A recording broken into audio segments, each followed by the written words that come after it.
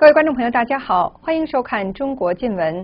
据美联社十月二十八号报道，成千上万抗议者周日在宁波市游行，抵制石化厂扩建，终于让地方当局做出了让步。地方当局承诺停止石化厂扩建项目。报道说，在中国政治敏感期发生的这场抗议示威，在周末规模扩大，并爆发了警民冲突。周日晚间，宁波市政府在一份声明中说，他们和项目投资人已经坚决同意不再扩建。但是，政府办公楼外大批示威者仍然在坚守。一名官员试图在扬声器中宣读官方声明，但是声音被要求市长下台的呼声淹没。最后，人群发出了短暂欢呼，之后要求当局释放被关押的示威者。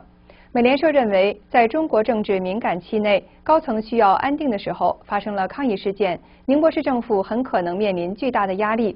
但是现在还不清楚地方当局是否最终会撤销这一项目，还是当压力减小时会继续这个项目。除了民间的抗议事件不断，中共高层的斗争也在不断升级。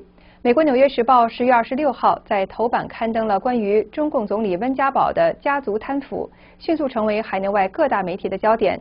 不过，这则报道已经从《纽约时报》网页的中国新闻头版撤下。大纪元新闻网表示，《纽约时报》中文新闻网页可以向前浏览到二十三号，这篇报道没有理由不在近期的首页呈现。还有海外中文媒体注意到，在中文新闻排行榜中，这条新闻曾经一度消失。另外，大纪元报道，中共召开十八大前夕，上海市政府不惜成本设置层层关卡，阻止访民到北京上访。许多访民被软禁在家，当局派人日夜看管。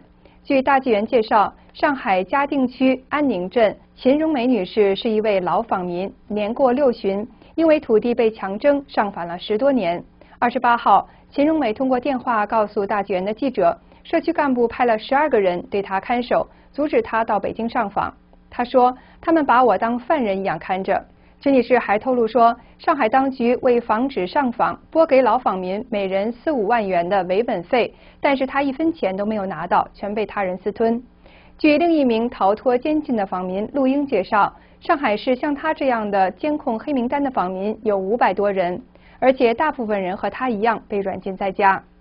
陆英表示，她只是一个老太太，政府便派十二个人监控她。而上海市那么多访民，所需的人力和费用可想而知。他说，为了阻止我们上访，政府不惜成本，糟蹋老百姓的血汗钱。好，接下来请您收看时事新闻。